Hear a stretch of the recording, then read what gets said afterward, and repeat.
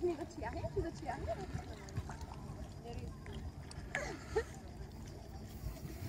هذا تشيحيا